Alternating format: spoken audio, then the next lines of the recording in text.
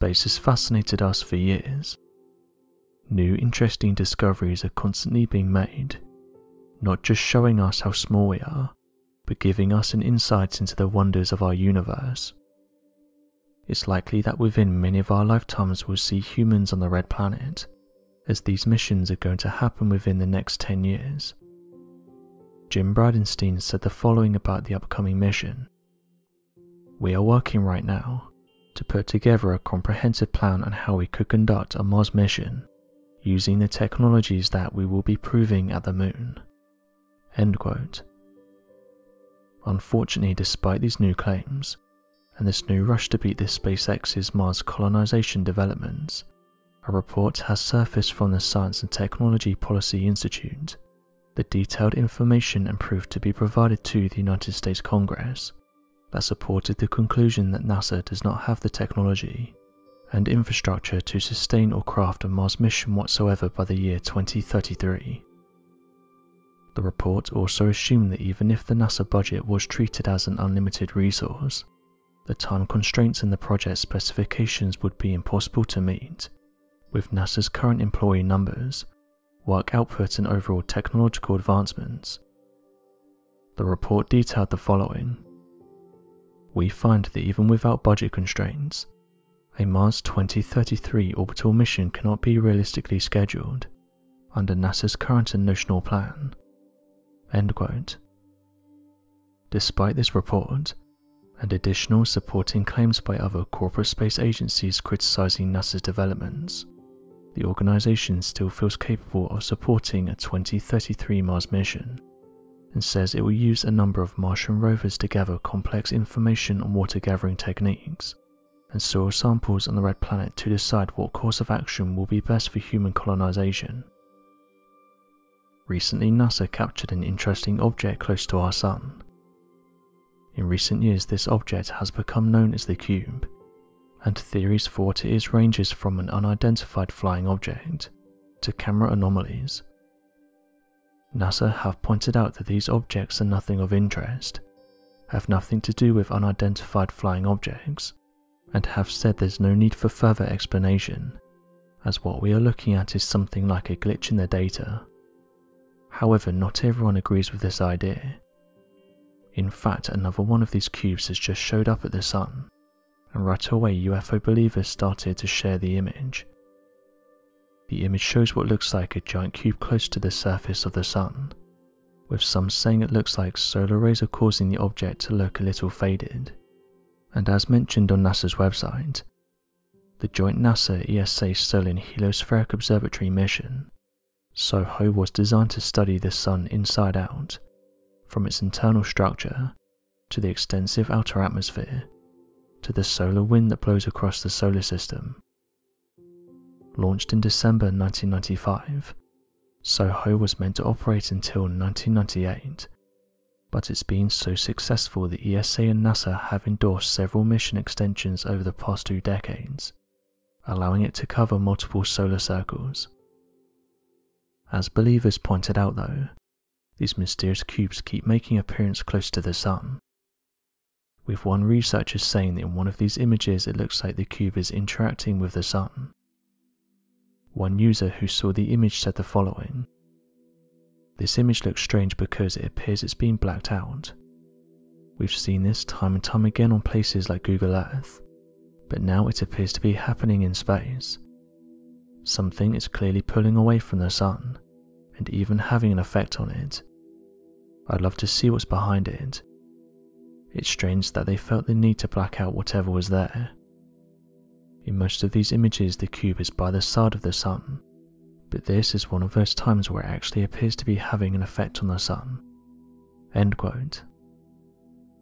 Others went on to share more images of these mysterious cubes, pointing out that others appear to be embedded inside the sun, or even interacting with it.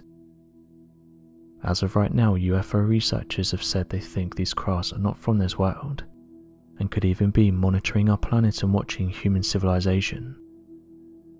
Interestingly, those who have studied these anomalies have said there's two different types.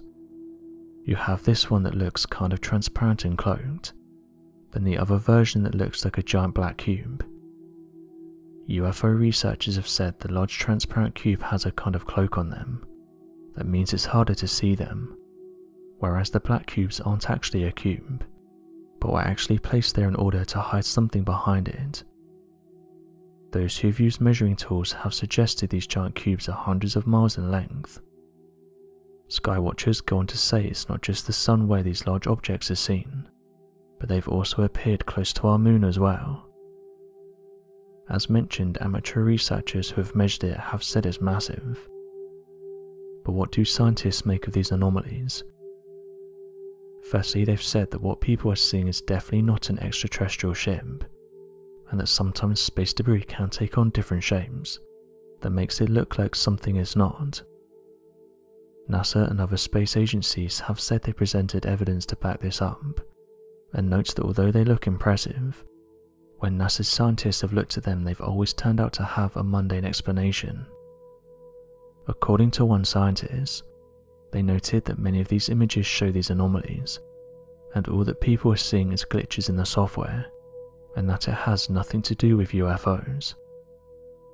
NASA backed this up and said that out of the hundreds of thousands of photographs they've taken, they've never once captured an unidentified flying object, further saying that another thing that could explain what people are seeing is that of space debris.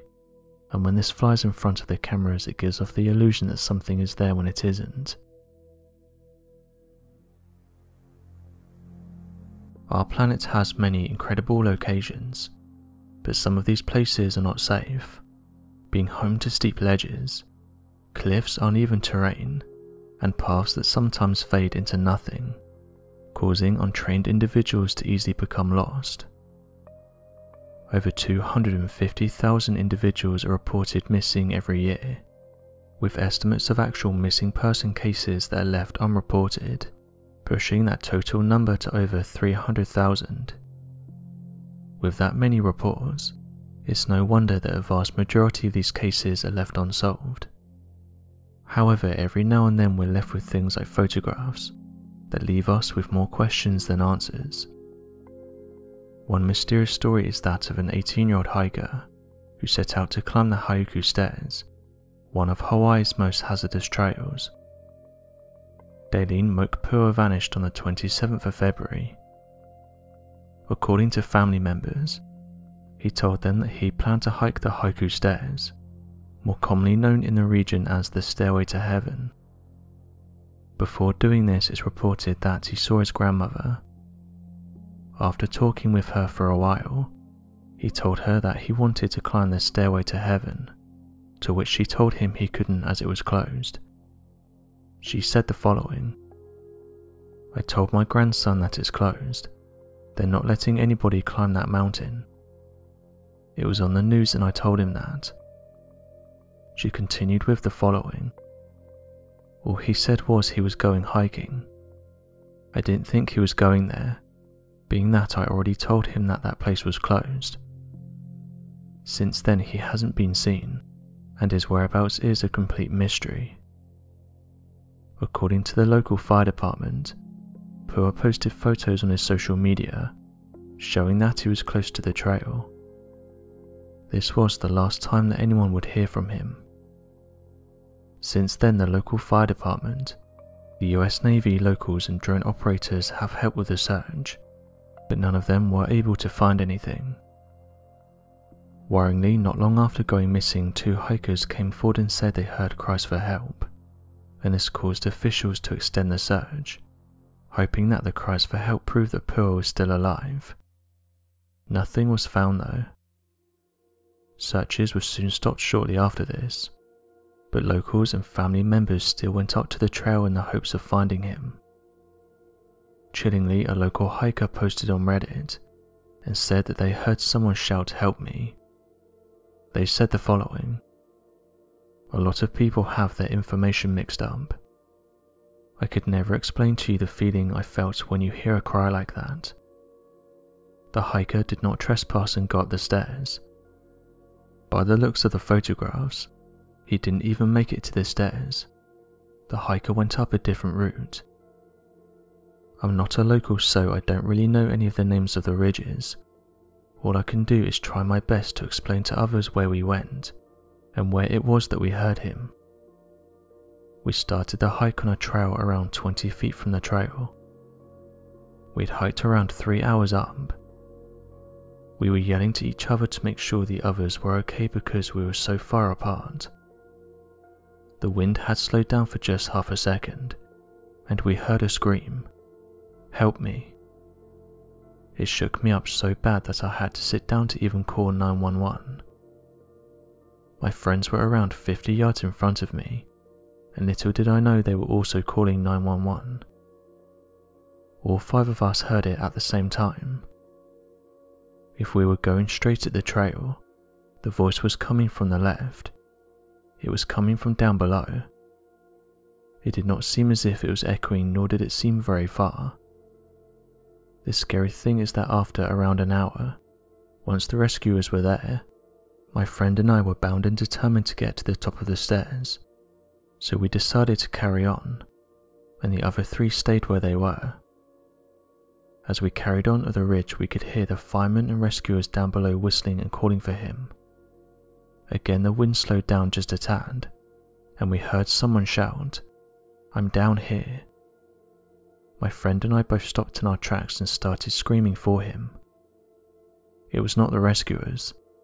The voice was different from the calls from the rescuers. I immediately called 911 again. We stayed up there for around an hour without moving and tried to listen for him. The wind was so bad and the clouds were starting to roll in, so it got to the point where we couldn't hear anything. My friend and I that heard the last cry are heading up the ridge tomorrow the same way that we went Monday. It's hard to explain where the location was that we heard it, as well as where the voice was coming from. End quote. One of the locals, Mr. Bowen, said the following I know what it's like to be in hairy situations. We've had a couple guys go up the saddle with plenty of rope and climbing gear. The rest of us went down and scoured all the different areas including the waterfall. Another volunteer, Mr. Tyson, had this to say I'm a hiker. I'm going in the woods all the time anyway. Might as well try to find him. If it was a relative of mine, I'd want all the help I could get. The stairway to heaven is notorious throughout the area as being a hazardous trail. Locals have said that powerful storms have hit the area and damaged the trail, due to people getting stuck and going missing. Locals have asked officials to shut the stairs to the public, while avid hikers have argued that they should just be repaired so that people can start to enjoy them again. Officials have said that Pua likely passed away somewhere close to the trail. The ability for people to completely disappear into thin air continues to be a haunting reality. The unpredictability of the wilderness has caused mass uncertainty in these untraceable vanishings. So, what do you think happened to Pua? Be sure to leave your questions and answers in the comment section below and help us to grow this community while working to solve these unexplained mysteries. Thank you for watching and don't forget to subscribe for more videos.